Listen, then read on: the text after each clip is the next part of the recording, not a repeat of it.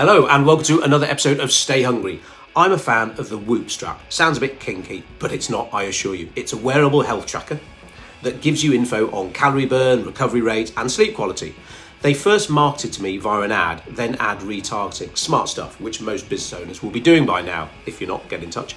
But it was their following emails that got me over the line. Their emails talked about the benefits of knowing when to exercise, how hard to push it, and when to take it easy. They also contain social proof, such as the numerous sports teams who now use Whoop. If you've been following Codebreak for a while, you'll know we're massive fans of email marketing. Ads and social media are great, but as the recent Facebook outage reminded us, you can't put all your eggs in someone else's basket. But a mistake lots of business owners make is they use email to explain how their products or services work. It would be like Whoop using email to tell me what buttons to press in the app. Nay, nay, and thrice nay. Remember this mantra if you're telling, you're not selling.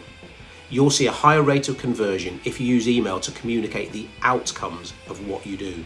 You sign up to a gym because you want to lose weight or get strong. That's what a gym should be selling. If they start explaining why their treadmills are the best because of how they set the calibration and responsiveness of the running belts, sale lost.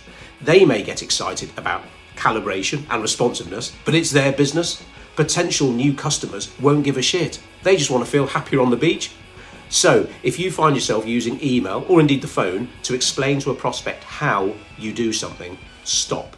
That info should already be at their disposal via FAQs on your website, a PDF, brochure in the post, etc. It's more effective for people to be able to digest details in their own time.